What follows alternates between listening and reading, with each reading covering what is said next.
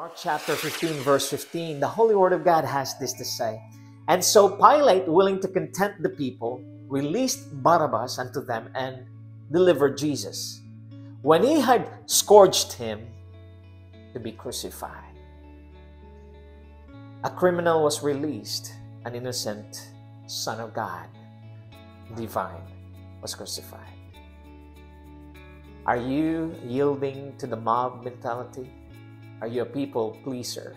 Remember Pilate, the satanic madness that drove him to crucify Jesus, the Son of God, was recorded for us to remember.